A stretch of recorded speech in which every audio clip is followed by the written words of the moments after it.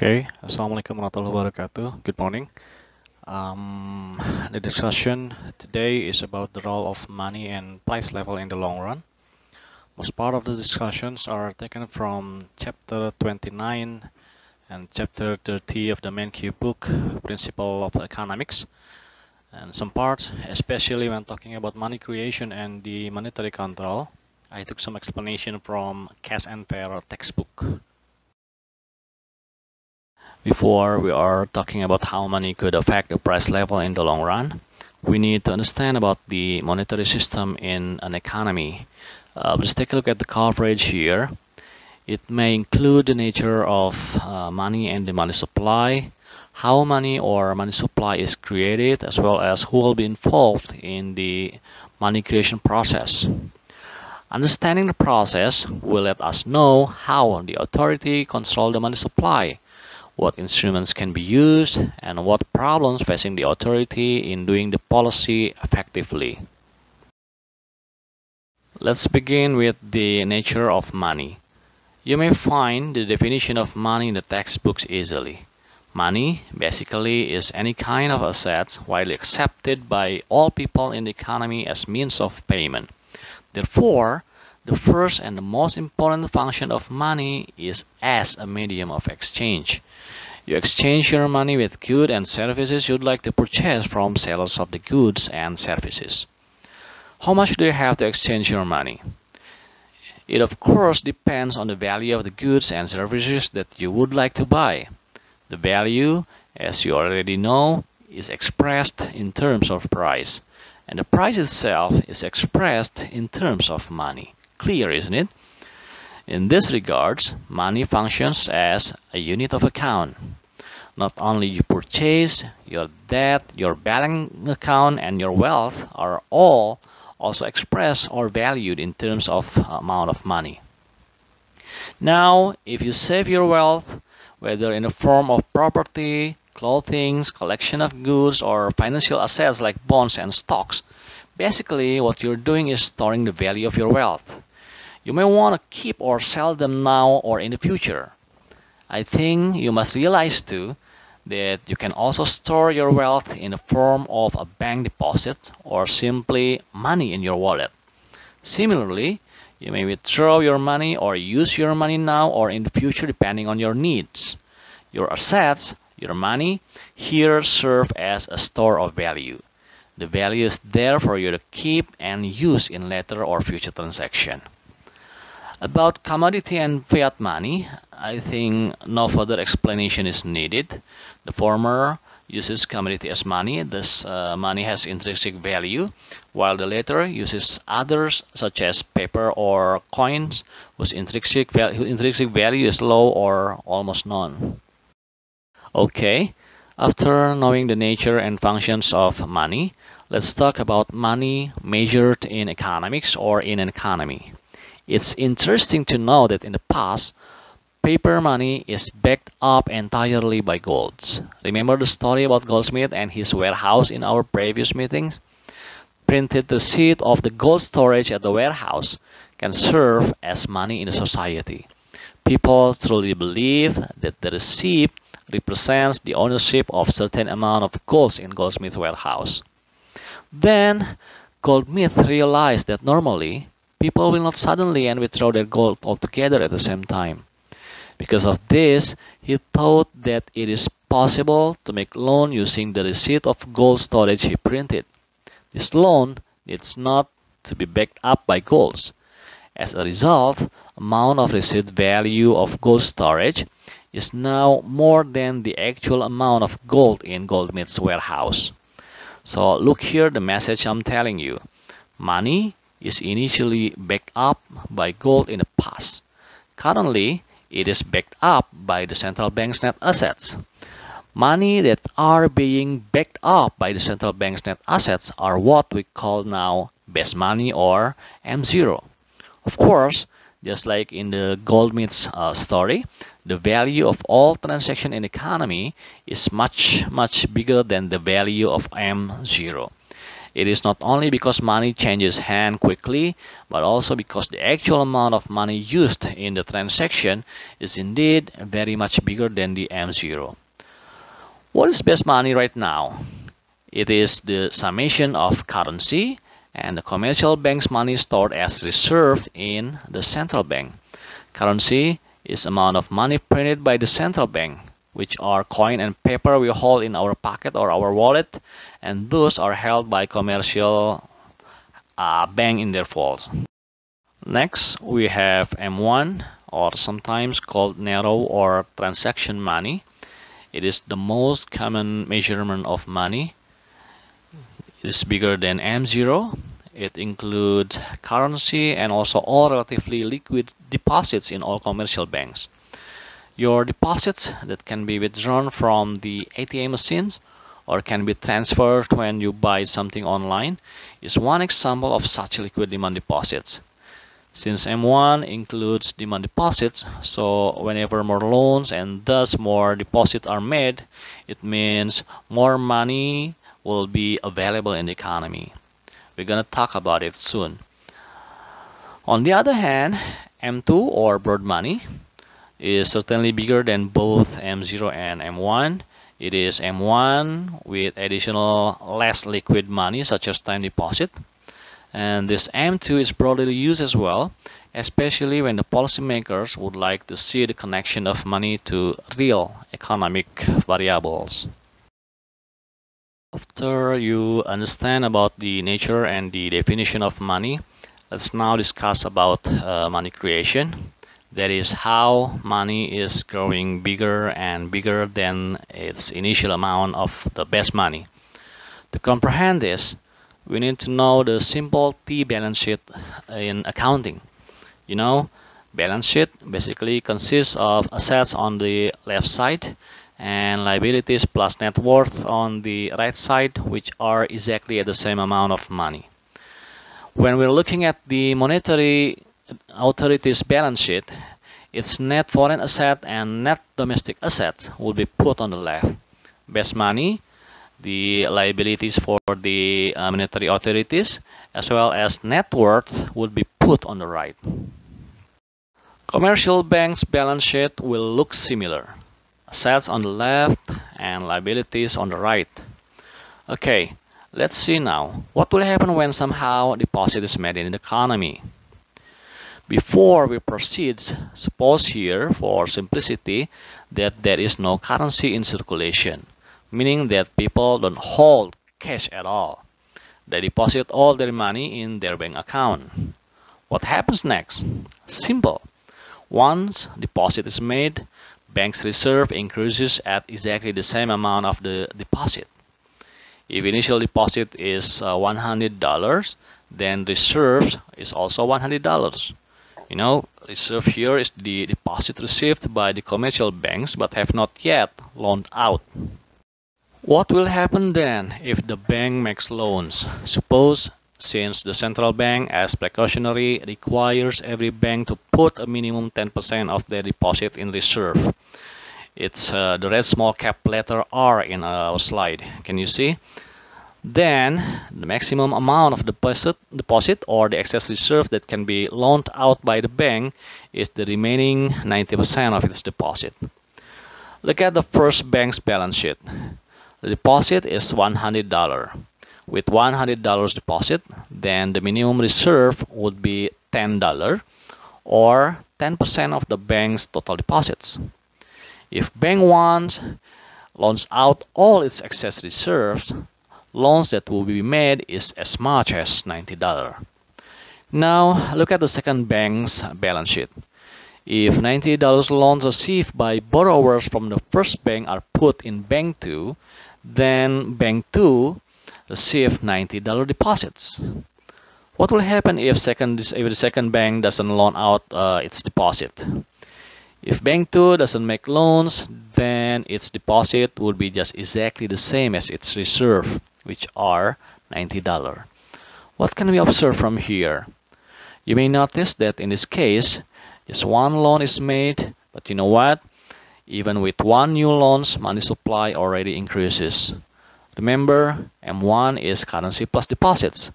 With no currency, money supply is just total amount of deposits. How much is uh, money supply or total deposit? Before the loan is made, it is $100, the amount of deposit in the first bank account. After the loan from Bank 1, it is now $190 deposit in total or $190 of money supply. $100 is coming from deposit at the first bank and $90 is coming from deposit at the second bank. See, just one loan is made, but money supply already increases. How about the total reserve? With or without loans, total reserve will be the same. It's still $100, which comes from $10 of Bank 1's reserve plus $90 of Bank 2's reserve. How is it now if banks, all banks, not only Bank 1 and Bank 2, provide loans as much as the law could allow them to? That is 90% of their total deposits. Look, Bank 1, as in our previous case, loan out 90% of its deposit or $90 out of $100. Bank 2 now also makes loans. Out of $90 of its current deposits, it loans out 90% of it or as much as $81. Bank 3, who receives the new deposits of uh, $80, $81, also make loans. Out of its $81 deposits, 90% of it, or $72.90, is loans. It continues like this until bank number n. We can easily observe total money or total deposits in all commercial banks are growing. Look at the figure circled red. Of course, it doesn't stop at Bank 3 in reality. New $72.90 loans from Bank 3 could create another deposit and then another loan, another deposit, another loan, and so on. Therefore, from initial deposits of just $100, now total deposit in economy is as much as $1,000 using geometric series formula. That is what we call money creation process. How money in our case is multiple 10 times, the multiplication factor is called the money, the money multiplier. Money multiplier measures how much money or deposit is multiple from its initial amount. If initial deposit or money is $100 and the final amount of money is $1,000 in the uh, banking system, so money multiplier is simply $1,000 per 100 equals to 10. So 10 is the money multiplier. Since how much loans can be made depends on the reserve requirement ratio, or 10% in our case, the money multiplier actually is 1 per R or 1 per 10%, which is equal exactly to 10. You may easily guess, if R is bigger, loans that can be made will be smaller, hence lower money multiplier and lower money supply. Likewise, if currency is reduced here, the bigger the tendency of people to hold money, the, the lower the deposit and the lower of loans that can be made. Thus, both money multiplier and money supply will be lower too. Here, I would like to show you the balance sheet of total commercial banks in economy. As I explained earlier when we limit the discussion to just Bank 1 and Bank 2, when loan is made, it will affect total deposits, but not total reserves. Initial deposits are $100. with loans after loans or with money creation process, the money supply, circle red, add up to $1,000, while reserves, circle green, remain $100. This $100 is the total amount of reserve if all banks fulfill the reserve requirement policy at exactly 10% of their total deposits. The rest will be loaned out. Total $900 loans or 90% or, uh, or of total deposit. Okay, do you understand the money creation process now? uh, relax. There will be more example to come, especially when we're discussing how money supply can be controlled in the next topic. In this slide, I would just like to talk briefly. First, you may need to know about the more realistic balance sheet of the commercial banks. We know the purple table. It is what we just got before. The blue table, this is what I told you as the more realistic one, is despite not yet complete either. On the asset side, there are now commercial bank securities other than just loans and reserves. On the liability side, we add commercial banks debt and capital. They are, for sure, are all important to understand the so-called capital adequacy ratio or CAR and the leverage ratio. Well, um, I leave it to you to understand what the CAR and the leverage ratio are because they are just matters of definition. Um, what I want to emphasize first is how commercial banks may actually be more restricted in providing their loans. We know earlier the self-requirement ratio has restricted banks' ability to provide loans, hence limit the creation of money supply. Other than that, bank is actually also required to maintain capital adequacy ratio or CAR at a minimum certain level. When the CAR of certain bank is lower than the minimum level, the bank must either increase their capital or reduce their loans. If the latter is chosen, money supply will be affected since less, less loans means less deposit in the banking system and less deposit means less money supply. As for the leverage ratio, it is important to know how higher leverage ratio could increase CAR significantly when there is an increased value of some bank's asset, but could make banks insolvent too when the opposite occurs. That's what I would like you to know. Let us now talk about how the monetary authority or the central bank could control money supply. The first way to do it is by doing the so-called open market operation. Here, the central bank may buy government bonds or commercial bank securities or sell its own securities in the market. But before we proceed, I would like to remind you this. With no reserve, money supply is total amount of deposit in commercial bank's account. Money supply will increase whenever the central bank pour more money to the economy, enabling banks to disperse more loans. On the other hand, whenever money is absorbed by the central bank or commercial bank loans become more limited, then money supply will decrease. Okay, let's see how the open market operation could affect money supply. Suppose the central bank purchases government bonds or commercial bank security worth $50. Before the purchase, the position is as shown in the first purple table here. Total money is equals to total deposit, which is $1,000. And then with 10% reserve requirement ratio, the reserves are $100 and loans will be $900. So what will happen after the purchase? Since there's no currency here, the central bank uses bank's reserve to buy it. It means the central bank will increase one commercial bank's reserve in uh, their account. Which bank? Of course, it is the bank who sells the security to the central bank. Or in government bond purchase case, it is the bank where the government puts its money in. So with uh, $50 more reserve or deposit, money creation process will take place with 10% uh, reserve requirement ratio, this additional $50 reserve or deposit would create additional $500 deposit in total or it is $500 more money supply. Money supply therefore is now $1,500. So remember the money multiplier effect? This 500 uh, dollar is exactly 10 times uh, the reserves.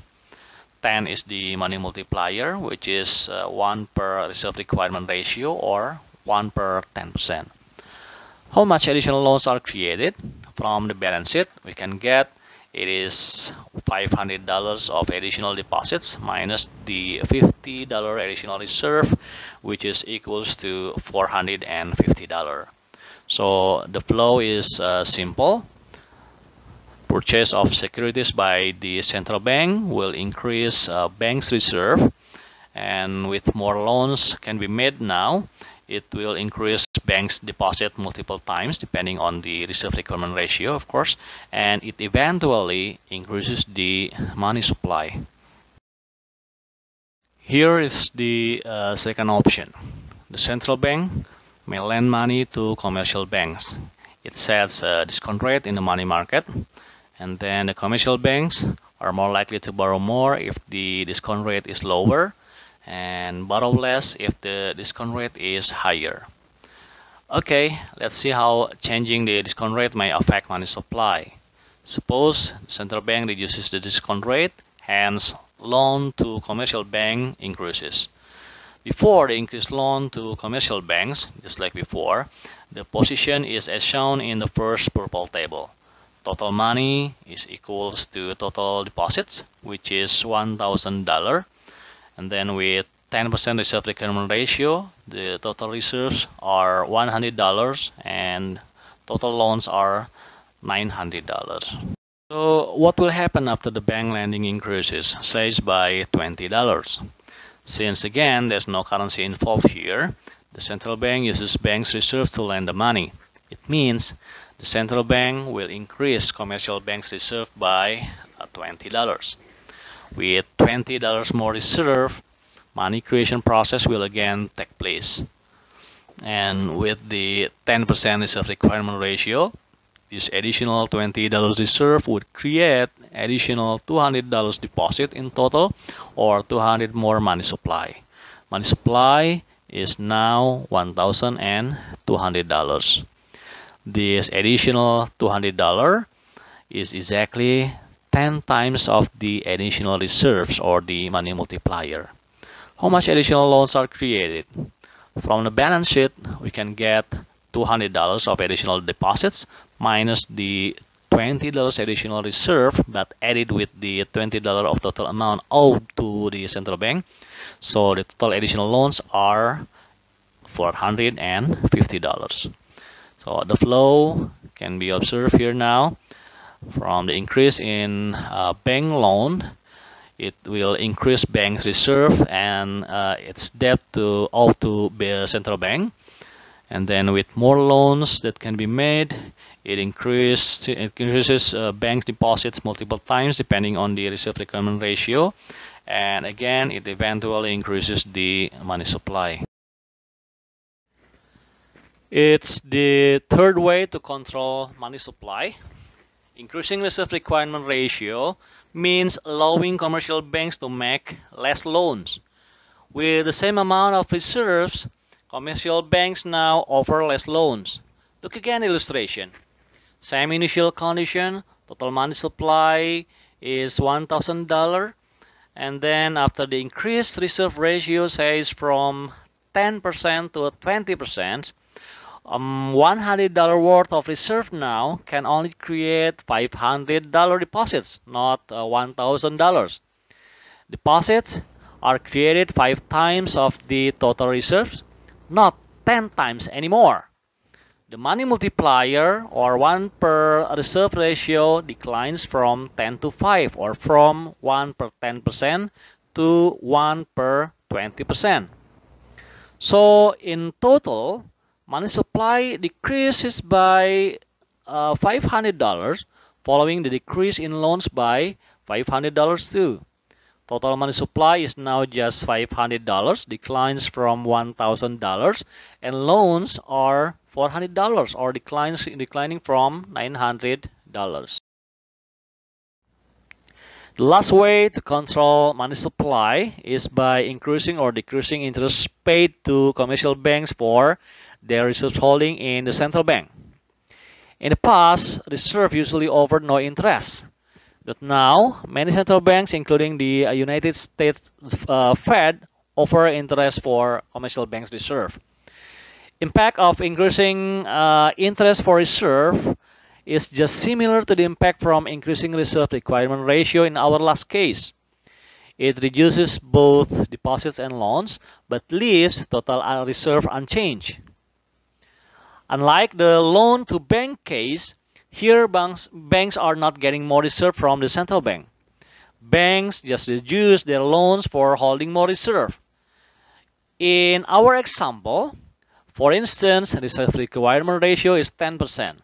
It means $100 reserves are supposed to be able to create $900 loans. Thus, $1,000 deposits or 10 times the reserves uh, amount. Money supply will be $1,000. But now, with increased interest on reserves, banks may find it more attractive to add their reserve holding rather than to provide loans. So instead of providing 900 loans, banks may only provide 400 loans or $500 less. The resulting deposits and money supply are then only $500 or 500 less. The impact, as I said, is just like the previous case. In our case here, increasing the interest on reserve is just like increasing reserve requirement ratio from 10% to 20%. Hopefully, nature of money, money creation process, and way to control money supply are clear for you all. With the video, you may also slow it down to comprehend all the explanation. But of course, if it still doesn't work, you are free to ask later on. And here, our last discussion about monetary system is about problems in controlling money supply. And I will just give the short explanation on this, thus allowing us to discuss the relation between money growth and inflation in the long run uh, right away. Uh, here, the first problem, which is due to the unpredictability of depositors' behavior. Look at the first table. It is a, deposit, a depositor's balance sheet. It is like uh, my balance sheet, your balance sheet.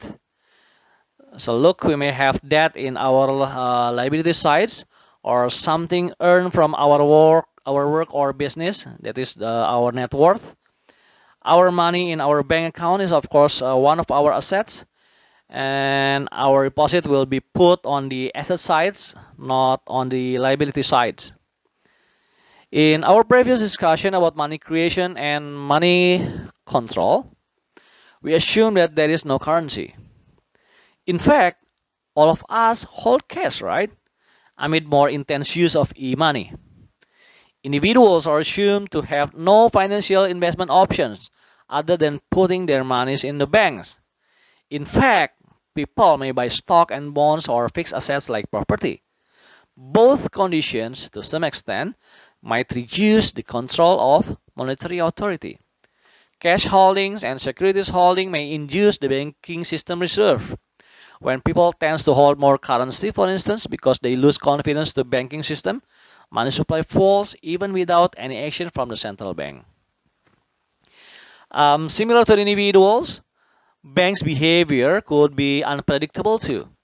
Making loans are actually not the only option for the banks to generate income. Just like in our previous case, banks may be attracted to hold more reserves, thus lowering the loans. They could also prefer buying more securities in financial market to making loans. Or they could just restrict themselves in making loans due to the bad economic and financial condition. Okay, so that's all about the monetary system.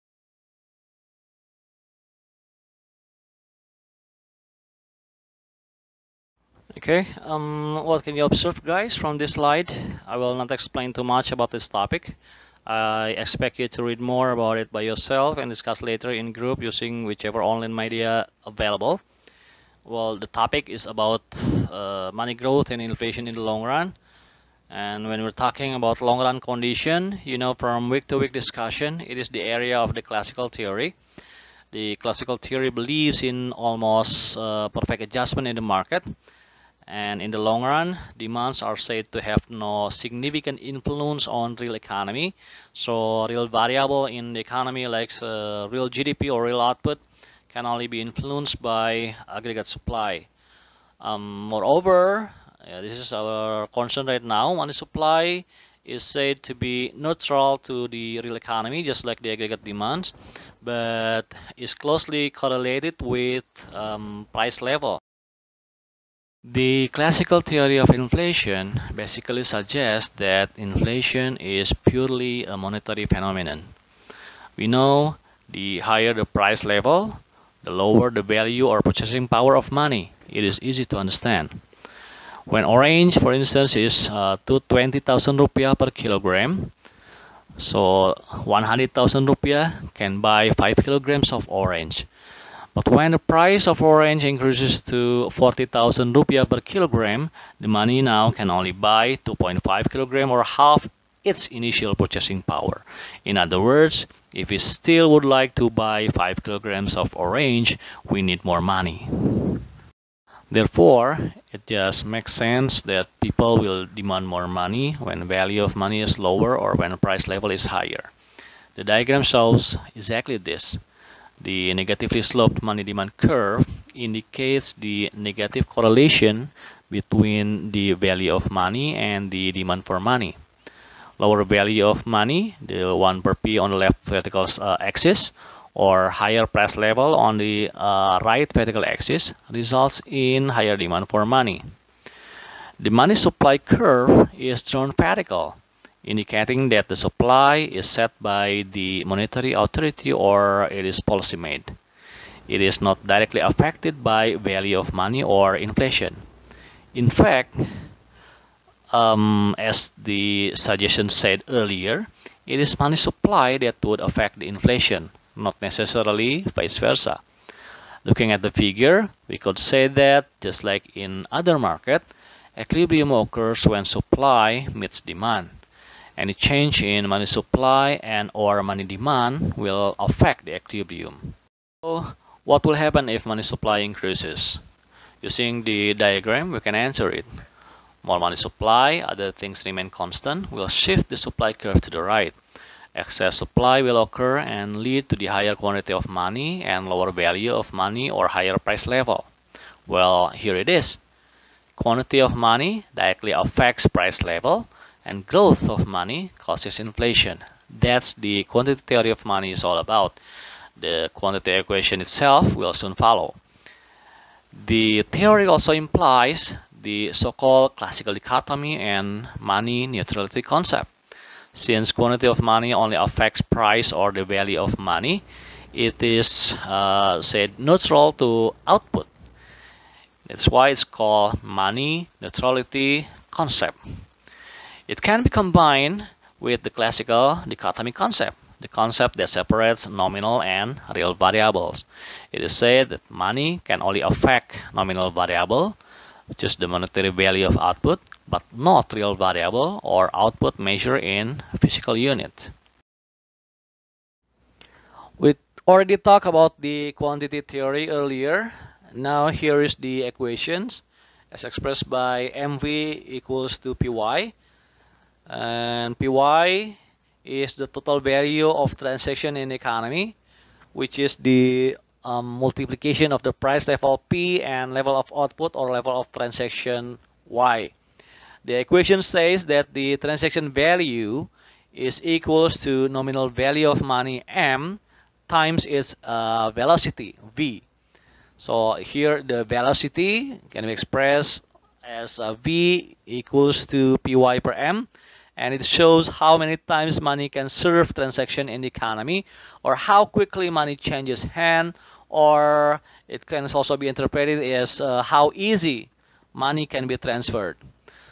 So how does uh, velocity change? You know, the more development in financial system and the less and less tendency of people to hold more money may increase the velocity of money the more frequent use of credit card and e-money, for instance? What do you think? With more credit card and e-money, money now will be transferred or change hand more quickly to serve more transaction, correct? It may not directly affect the money supply, although money multiplier is clearly affected. But what is more sure is that it impacts the velocity of money. In the long run, however, as classical theory and US data suggest, velocity of money is relatively stable.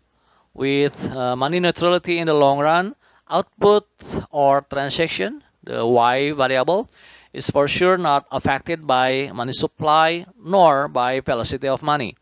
Output in the long run, as we learned two, three weeks ago, is only affected by supply factors such as change in factors of production and uh, the technology the technology availability. Okay then uh, it leaves us with only two variables that's move together in our equations which are quantity of money and price level. And just like the discussion before the equation also tells us that quantity of money directly affects price level when we express all terms in their growth it would mean that growth of money causes inflation. Thus, inflation is said to be purely a monetary phenomenon. Well, guys, the remaining issues here are inflation issues. I will only explain uh, two of them and also it briefly. First, there is a so-called inflation tax when government is printing money to finance its huge budget deficit. As you know, huge budget deficit will increase uh, the aggregate demand, but in the long run, as the uh, classical theory holds, it does not affect output, but instead only affect the price level. So since the act most likely results in long run high inflation, so the inflation is just like a heavy tax to all people in the economy. Hence, it is called an inflation tax. Um, secondly, how the, about the Fisher effect? Recall about the money dichotomy, nominal and real variable distinction. Fisher here distinguish uh, nominal interest rate and real interest rate, whereas real interest rate would only be affected by other real factors in the economy. Nominal interest rate will move along with the other nominal variable, the inflation rate. So here, the higher the inflation rate, the higher the nominal interest rate. That's the uh, main um, interpretation of the Fisher's effect. Okay, um, the rest I will leave it to you. Okay, that's all from me today. Please comprehend the remaining issues here, the the cost of inflation, and then after you're watching my video, understanding the uh, explanation. So I'm going to give you a test in uh, a mass. Please do it uh, individually, uh, given the designated time. Okay, thank you.